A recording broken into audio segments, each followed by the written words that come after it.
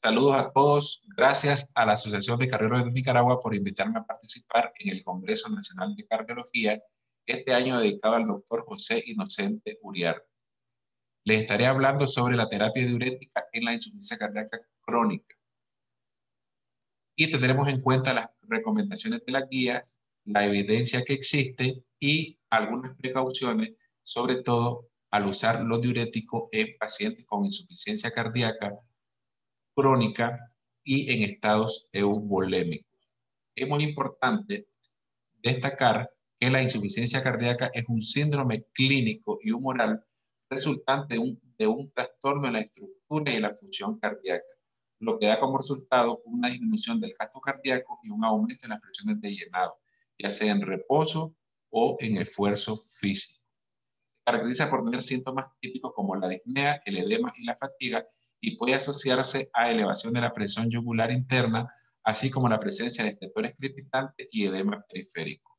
Tradicionalmente, la insuficiencia cardíaca se ha clasificado de diferentes formas, teniendo en cuenta la clase funcional, la etiología, el tiempo de evolución en insuficiencia cardíaca crónica, aguda o crónica agudizada, según los estadios, y también según el estado congestivo de la misma. Actualmente se recomienda clasificarla según la fracción de eyección entre grupos, insuficiencia cardíaca con fracción de eyección reducida, insuficiencia cardíaca con fracción de eyección intermedia y la insuficiencia cardíaca con fracción de eyección preservada.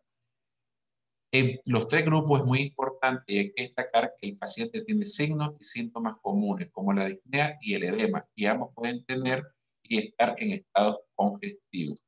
De ahí viene la importancia del uso de los diuréticos en la insuficiencia cardíaca crónica.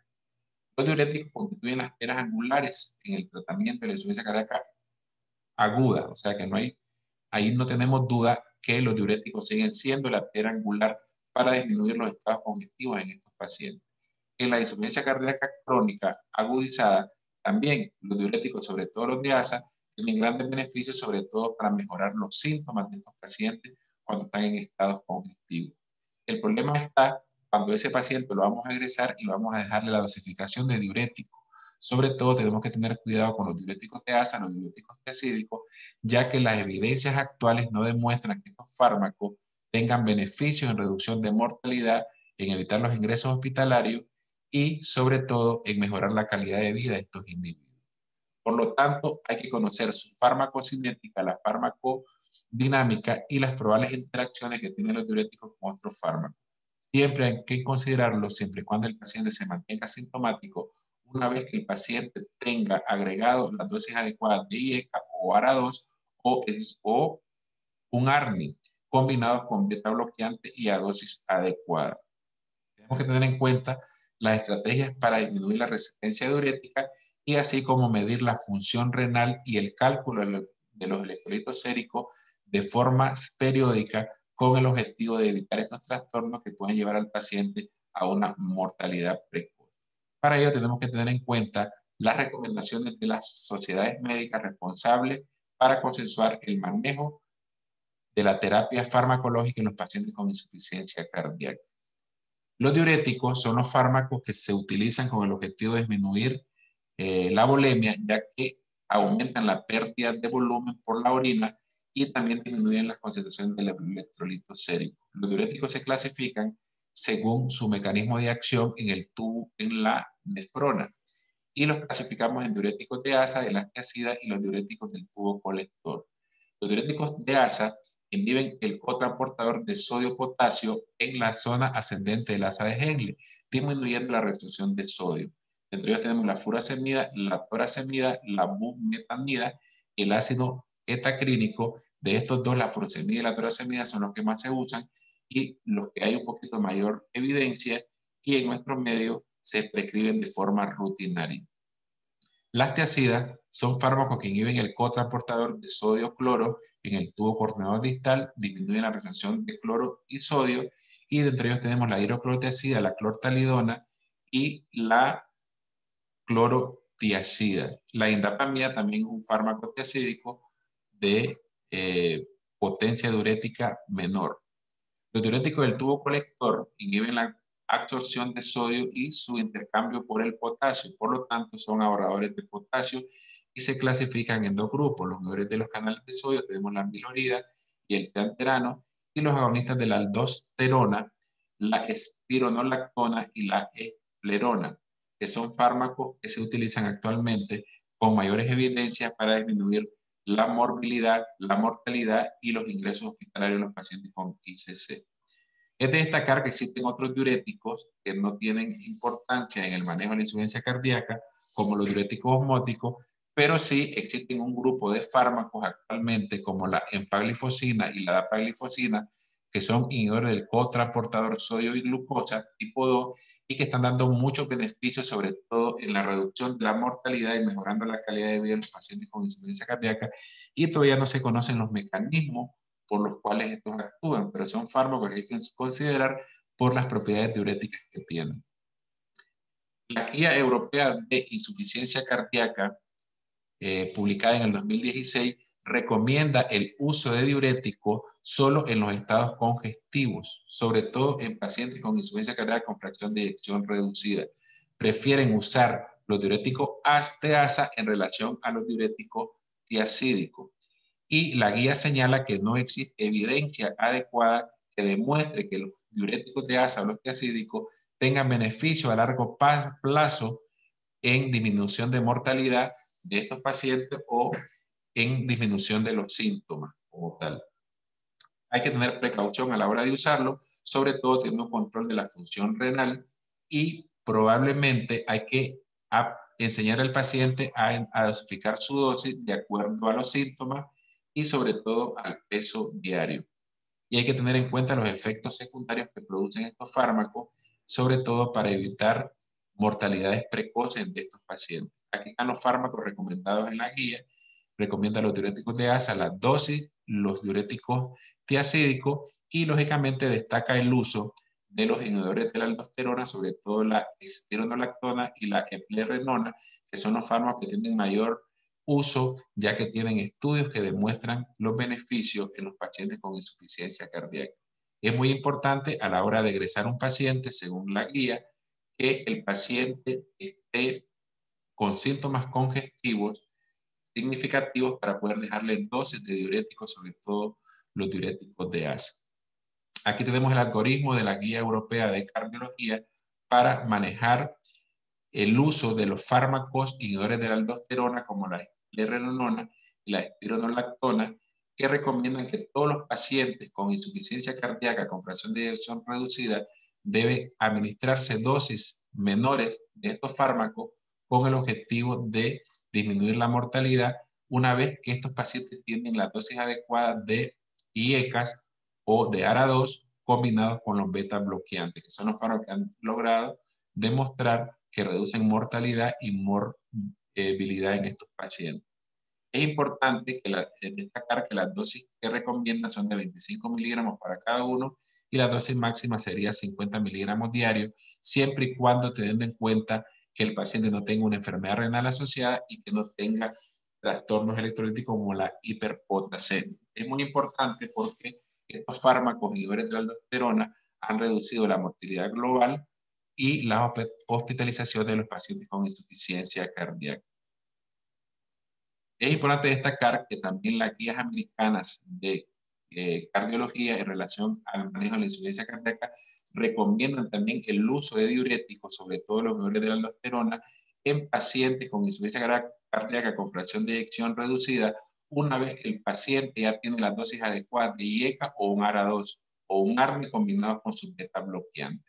Y los utilizan sobre todo en los estados congestivos eh, y en los estados congestivos como la estironolactona y la escleronona y lo recomiendan a dosis menores de 12.5 miligramos progresivamente hasta 50 miligramos diarios y se puede dejar una vez al día o dos veces al día.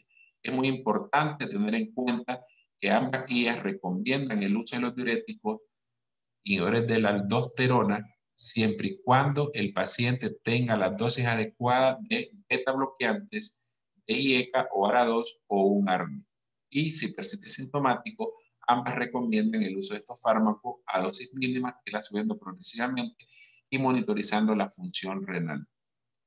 En, a la hora de comparar ambas guías, se publicó un estudio en el 2019 en la IAC donde comparan ambas guías ¿no? en relación al uso de la terapia diurética.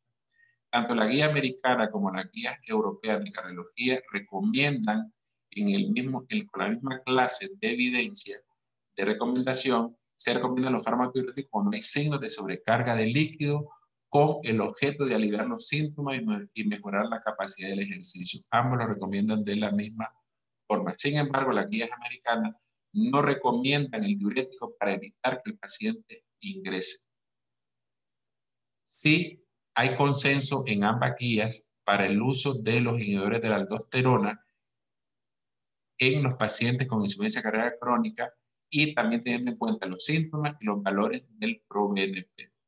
Es importante destacar también que todos los pacientes con insuficiencia cardíaca con fracción de eyección reducida y que han sufrido un evento isquémico, se les recomienda el uso de los inhibidores de la aldosterona. Ambas guías no tienen duda y los consensuan a la hora de prescribirlo. La guía canadiense de cardiología del 2017 para el manejo de la insuficiencia cardíaca también recomienda el uso de los diuréticos, sobre todo los inhibidores de la aldosterona, siempre y cuando el paciente tenga la dosis adecuada de los fármacos que tradicionalmente han demostrado beneficios en el manejo de la insuficiencia cardíaca. Las dosis las recomiendan, igual que las guías americanas, la espironolactona, empezar con 12.5 e irlo subiendo progresivamente, siempre y cuando se tenga cuidado a la hora de medir la función renal. Las guías británicas, las guías NICE, recomiendan también el uso de los diuréticos, sobre todo los inhibidores de la aldosterona, una vez que el paciente ha disminuido los síntomas congestivos, está eubolémico y cuando el paciente tiene los fármacos adecuados de IECA y beta bloqueante. Es importante también para ellos monitorizar la función renal y tener en cuenta los electrolitos séricos a la hora de prescribir estos fármacos. Los antagonistas de los minerales corticoides, como podemos ver, son los fármacos que más se recomiendan en el uso de la insuficiencia cardíaca con el objetivo de disminuir la sobrecarga de volumen. Tenemos muchos estudios que demuestran su utilidad y los beneficios de estos pacientes a la hora de prescribirlos en las terapias médicas para disminuir la, la hipervolemia de estos pacientes. Tenemos el estudio RALES, el estudio EFESIUS y el énfasis, que son los estudios que le dan gran participación a estos fármacos y que en la actualidad son parte del manejo de la insuficiencia cardíaca crónica, ya sea con fracción de eyección reducida y con fracción de eyección reservada intermedia. Vamos a ver que existen algunas limitaciones, pero que también son fármacos que están dando beneficios en este grupo de pacientes. Es importante destacar que tienen indicación clase 1 y clase A por casi todas las asociaciones y guías que recomiendan el uso de estos fármacos. La espironolactona es el fármaco por excelencia inhibidor de la aldosterona. Se descubrió en 1953 y durante muchos años no se conocían muy bien sus principios o su participación en el sistema renal de aldosterona y los beneficios que tiene realmente se conocen o se están utilizando sobre todo del 2000 para acá con el estudio RALES. El estudio RALES fue un estudio randomizado a doble ciego multicéntrico que se hizo en 1999, donde se incorporaron pacientes con insuficiencia cardíaca severa, clase funcional 3-4 de la NIJA, con fracciones de eyecciones pobres, ¿no? Todos estos pacientes tenían IECA, metabloqueantes digitales y diuréticos de base, se dieron en dos grupos y a un grupo se le agregó la espironolactona. A los 24 meses el estudio fue interrumpido ante los resultados positivos del grupo que tomaba espironolactona, ya que los beneficios fueron muy importantes. Hubo reducción de la mortalidad global en un 31% de todos los pacientes, reducción de la progresión de la enfermedad, o sea que mejoró la calidad de vida de estos pacientes, reducción de la mortalidad cardiovascular en un 30% y este efecto se sumaba a lo ya conocido que beneficios que daban los IECA y los beta bloqueantes de última generación.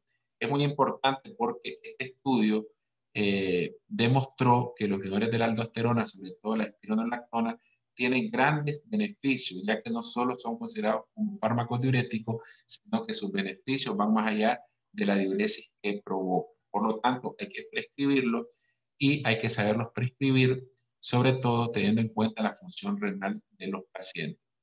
También en el 2013 se publicó este estudio que comenzó a hacerse en el 2008, demoró más o menos cuatro años, y fue un estudio para evaluar el efecto de la espironolactona en los pacientes con insuficiencia cardíaca con fracción de eyección preservada. El estudio TOPCAT. Este fue un estudio multicéntrico, fue randomizado y a doble ciego. Se siguieron los pacientes por 3.3 años, un total de pacientes de 3.445, se dividieron en dos grupos, a uno se le agregó, todos tenían terapias eh, combinadas, y a un grupo se le agregó la espironolactona. Las características de los pacientes, todos tenían insuficiencia cardíaca, tenían fracción de eyección superior al 45%, ciento presentaban síntomas, tenían el BNP o el ProBNP elevado, todos tenían una tasa de filtración glomerular mayor de 30 mililitros por minuto y el potasio era menor de 5 milimol por litro. Y se descartó los pacientes que tenían eh, miocardiopatías hipertróficas. Las conclusiones, o sea, eh, miocardiopatías hipertróficas primarias, y casi todos ellos tenían demostrado por ecocardiografía que tenían algún grado de hipertrofia ventricular. En el estudio se demostró que la espironolactona tiene beneficios sobre todo en disminución del remodelado cardiovascular en los pacientes con insuficiencia cardíaca. Pero casi todos los pacientes que tomaron eh, tuvieron alteración de la función renal y tuvieron hiperpotasemia. Por lo tanto, es muy importante tener en cuenta a la hora de prescribir estos fármacos, sobre todo en los pacientes que tienen daño renal. También en el 2004 se hizo un estudio, ya un estudio de imagen, donde se usó la espironolactona en pacientes hipertensos con insuficiencia cardíaca que tenían hipertrofia del ventrículo izquierdo y tenían fracciones de eyecciones adecuadas, pero tenían disfunción diastólica. Se dividieron en dos grupos, fue un estudio randomizado a doble ciego, se agregaron 25 miligramos de espironolactona versus placebo en dos grupos y a los seis meses se demostró que la aldosterona mejoró la función diastólica de esos pacientes y también disminuyó el grosor, el área de la aurícula izquierda y también el grosor de la pared posterior. O sea que aquí se vieron los efectos anatómicos que tiene la espironolactona, en la insuficiencia cardíaca. Aquí tenemos otro estudio que fue un metaanálisis donde se evaluaron todos los estudios para ver los beneficios de la espironolactona en la insuficiencia cardíaca en todos los grupos. El, el, presente, el objetivo de este estudio, de este metaanálisis, fue ver el impacto que tenía el uso de los, de los antagonistas de los minerales corticoides, sobre todo en la mortalidad global, mortalidad eh, cardiovascular y en las hospitalizaciones por causa cardiovascular. Se realizó una evaluación comparativa de estos resultados en pacientes con insuficiencia cardíaca con fracción de, de eyección reducida. Este metaanálisis proporciona evidencia adicional de que los, los fármacos deben usarse sistemáticamente, sobre todo en los pacientes con insuficiencia cardíaca reducida, ya que estos fármacos reducen la mortalidad global, reducen las hospitalizaciones por insuficiencia cardíaca y disminuyen la mortalidad cardiovascular y también mejoran la calidad de vida de estos pacientes. Por el contrario, estos metaanálisis no demuestran todavía los beneficios que puede tener el uso de estos fármacos de forma rutinaria en los pacientes con fracción de eyección preservada, sobre todo en los estados eubolémicos. Por lo tanto, hay que considerarlo, ya que sobre todo en las personas jóvenes, los hombres pueden provocar la ginecosmastia y la hiperpotasemia, que son los trastornos por los cuales estos fármacos se disminuyen o se dejan de usar. La eplerenona es también un es un fármaco antagonista de la aldosterona, se usa en la insuficiencia cardíaca con los mismos grados de evidencia de la espironolactona. Es un fármaco que está muy demostrado, está bien estudiado, y el estudio que lo pone en el, en el, en, el manejo de la insuficiencia cardíaca es el estudio EFESIO, que fue un estudio que se hizo con el objetivo para evaluar la eficacia de la eplerenona en pacientes con insuficiencia cardíaca post-infarto agudo del miocardio. Estudio se hizo en el 2003, fue un estudio multicéntrico, se incluyeron más de 6.000 pacientes, y los pacientes que se incluyeron eran pacientes que tenían insuficiencia cardíaca sistólica post-infarto. Se agregó eplerenona de manera precoz más la terapia convencional. A los 16 meses de seguimiento se demostró una disminución en un 15% de la mortalidad global de los pacientes del grupo de la eplerenona, una disminución en un 17% de la mortalidad cardiovascular y una disminución de un 21% de la muerte súbita o por causas cardiovasculares. Por lo tanto, este estudio es muy importante porque vino a demostrar que los inhibidores de la aldosterona tienen y deben usarse en todo paciente con insuficiencia cardíaca con precaución y midiendo la función renal y el control de los electrolitos séricos, que son fármacos que van a tener beneficio en la reducción de la mortalidad y van a evitar los ingresos hospitalarios y sobre todo van a disminuir las mortalidades cardiovasculares. Aquí tenemos también el estudio énfasis, que fue otro estudio que se hizo con eplerenona en pacientes con insuficiencia cardíaca con fracción, con, con insuficiencia cardíaca sistólica y síntomas leves.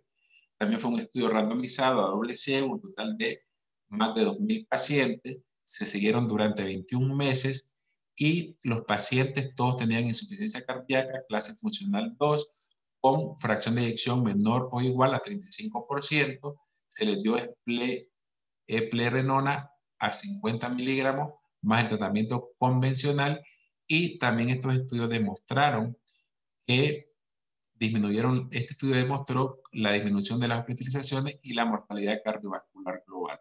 Por lo tanto, la eplerenona en comparación con el placebo redujo tanto el riesgo de muerte como el riesgo de hospitalizaciones entre los pacientes con insuficiencia cardíaca y síntomas leves.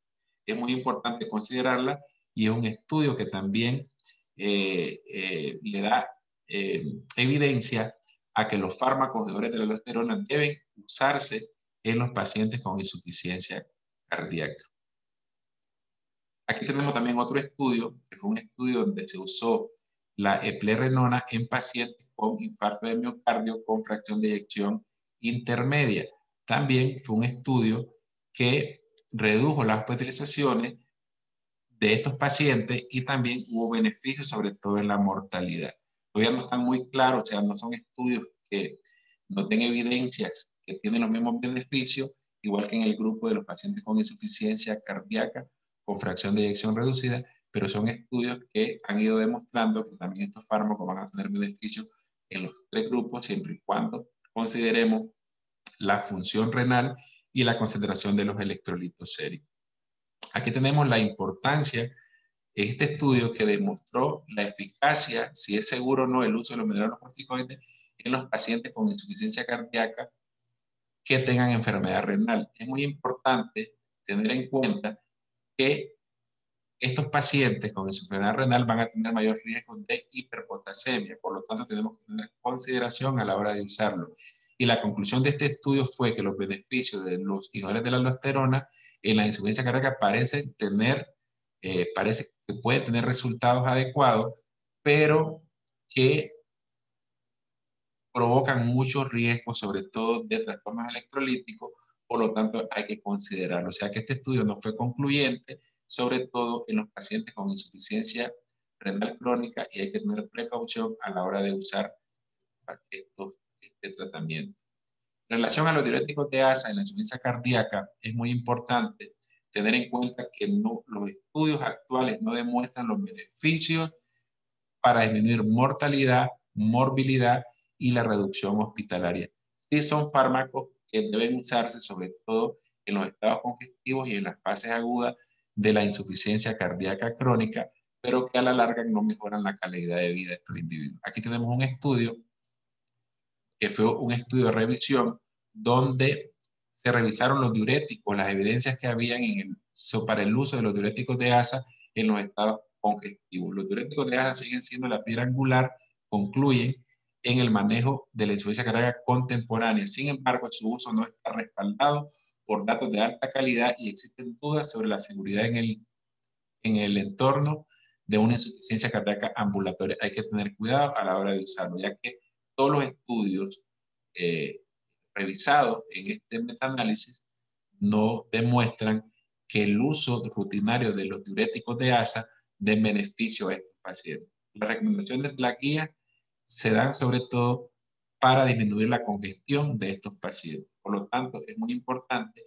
a la hora de prescribirlo y saber que si el paciente está eubolémico o edema no son de, gran importancia, hay que considerar no dárselo y preferiblemente usar los inhibidores de los fármacos eh, antagonistas de la aldosterona.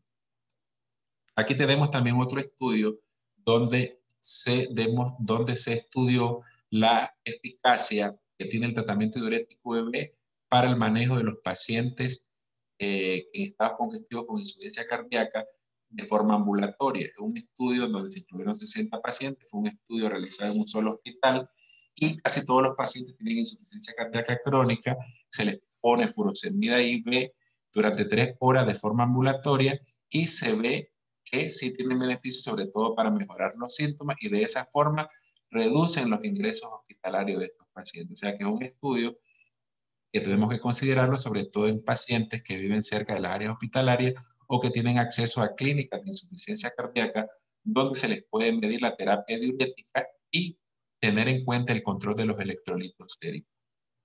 Hay un sinnúmero de estudios que evalúan la terapia eh, diurética de ASA, sobre todo la furosemida y la torasemida, y todos ellos concluyen de que las evidencias no son suficientes para prescribirlos de forma rutinaria.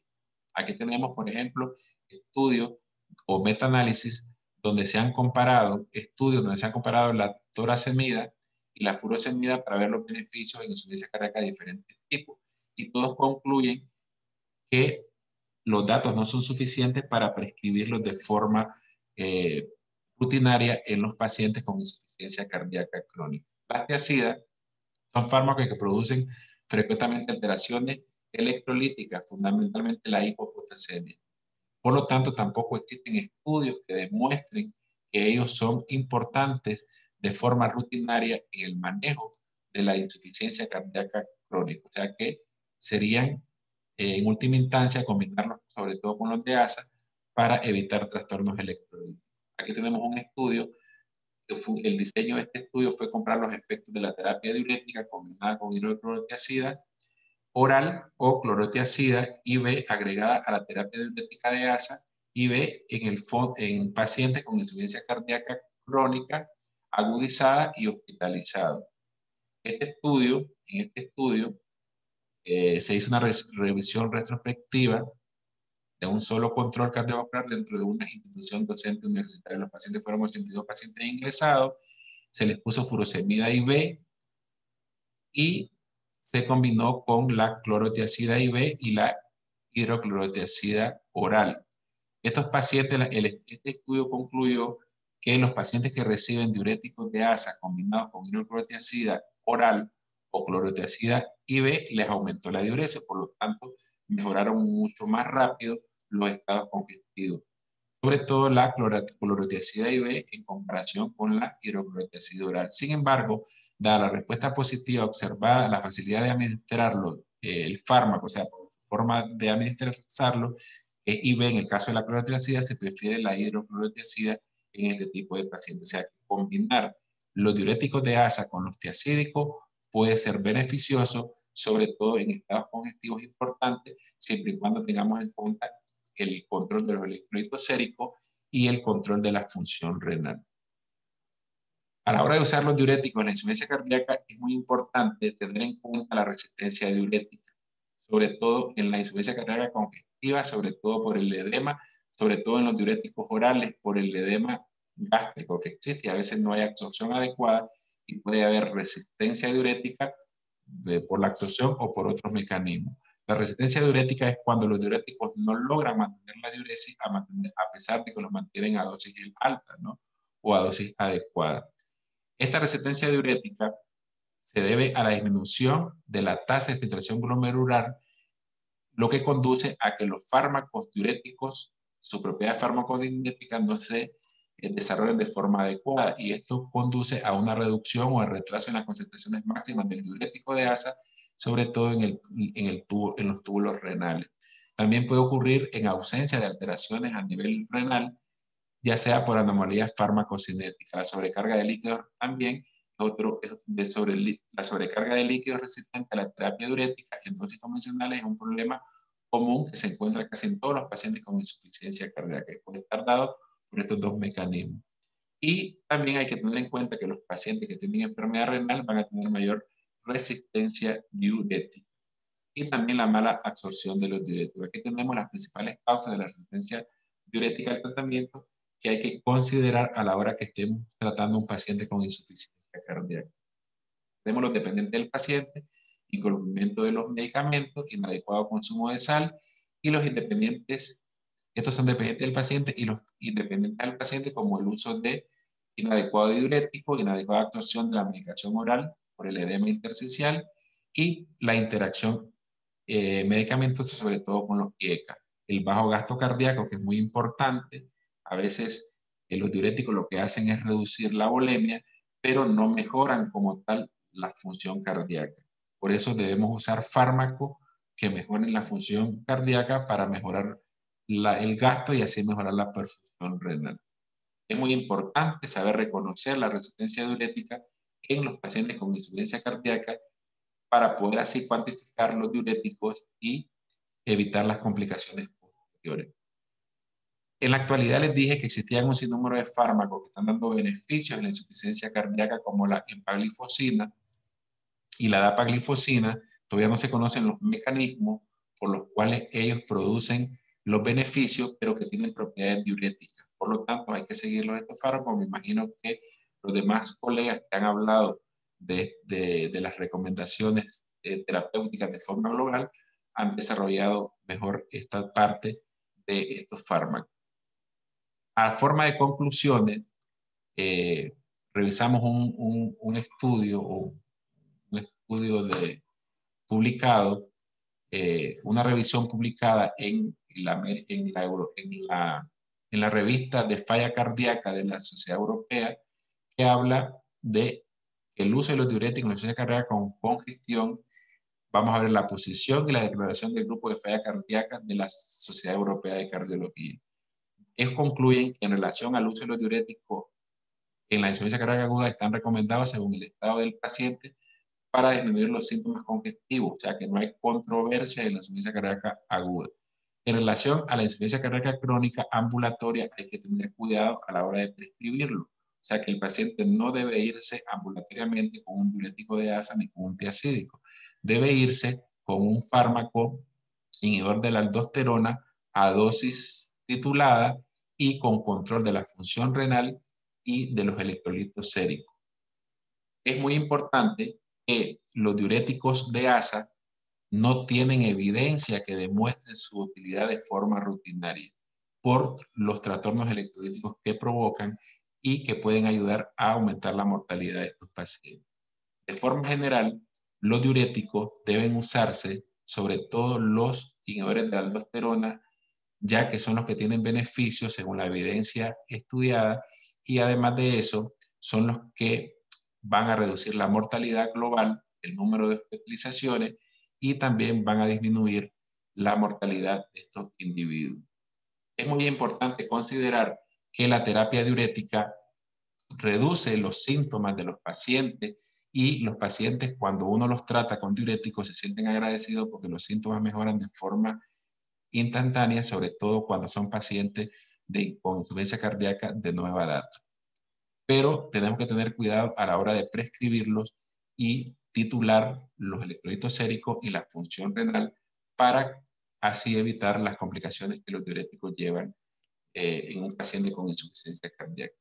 Para concluir, nos vamos a despedir eh, saludándolos a todos los colegas por realizar este congreso de forma online, una nueva experiencia para la Asociación de Cardiólogos de Nicaragua y creo que de alguna forma eh, se van a beneficiar mayores eh, interesados en recibir las charlas de la cardiología nicaragüense. Saludos a todos y muchas gracias.